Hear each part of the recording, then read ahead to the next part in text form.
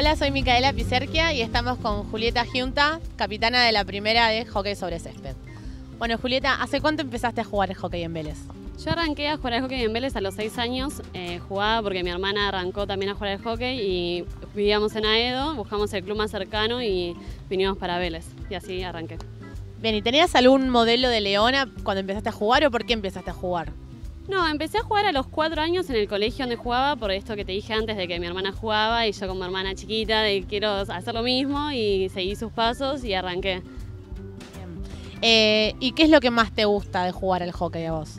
Me gusta porque es un deporte en equipo y me gusta siempre la, la dinámica que lleva. No sé, como que arranqué y me gustó y seguí hasta ahora. ¿Y qué es lo que te llevas del deporte en conjunto?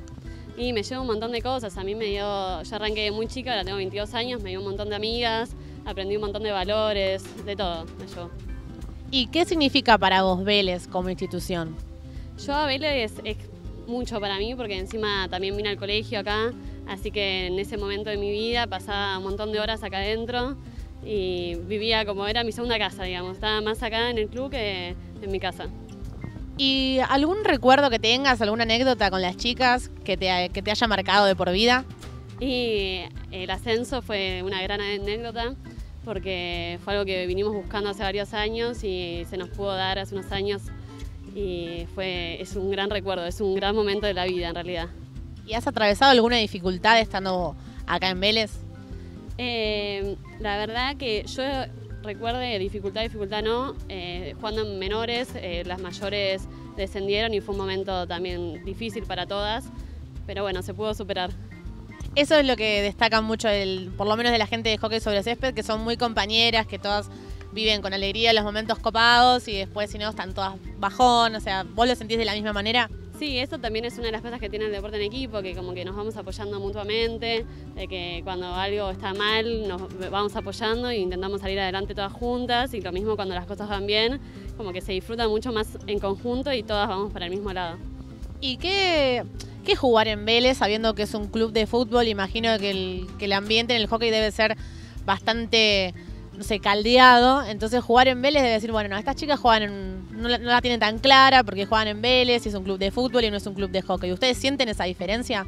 Y la verdad que sí, por momentos como que hay un imaginario de decir, oh, este club de fútbol. Pero bueno, se va llevando, digamos. Eh, está, eh, eso está, digamos, se dice bastante. ¿Y por qué eligieron jugar en Vélez y no elegiste jugar en Geva o en Ciudad, que son equipos que son realmente fuertes en lo que es el hockey sobre césped? Y bueno, yo principalmente, más que nada lo elegí porque, bueno, como te dije, vivía en Aedo, busqué club que tengan hockey para competir y eh, uno de los que me salieron fue Vélez. De ahí, bueno, arranqué la actividad en el club, le tomé mucho cariño y después como que pasó a hacer todo. Bien. ¿Y, y tu experiencia con las más chicas, que las chicas te ven como modelo, ¿qué es lo que vos les enseñás día a día? ¿Vos tenés contacto con las chicas?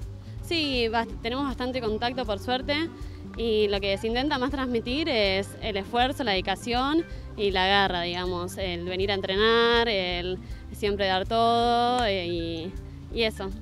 ¿Y te imaginas en un futuro siguiendo acá jugando como, como jugadora del club? Sí, sí, obvio, sí.